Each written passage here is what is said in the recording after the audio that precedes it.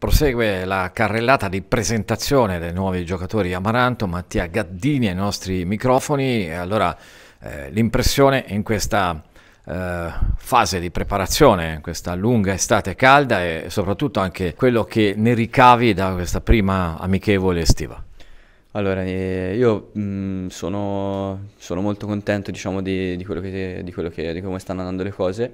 e la prima amichevole è andata abbastanza bene, al di là del risultato che comunque eh, non è stato dalla nostra parte, però comunque siamo, noi veniamo da una settimana e mezzo di, di ritiro, quindi siamo anche abbastanza, abbastanza carichi, però come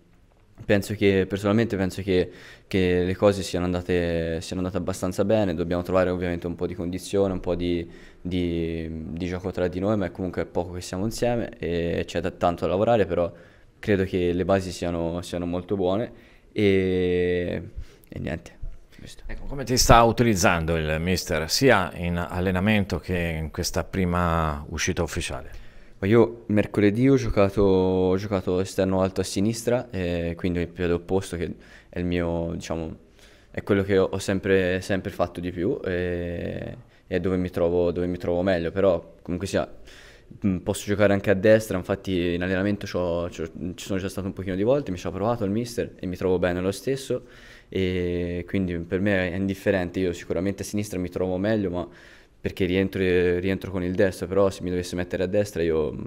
cercherò di dare il massimo anche a destra e mi piace anche giocare lì, quindi questo va bene. Una squadra che si presenta insomma, in maniera insomma, autorevole perché insomma, stiamo aspettando la composizione dei gironi, però cioè, Arezzo dovrebbe recitare un ruolo da protagonista.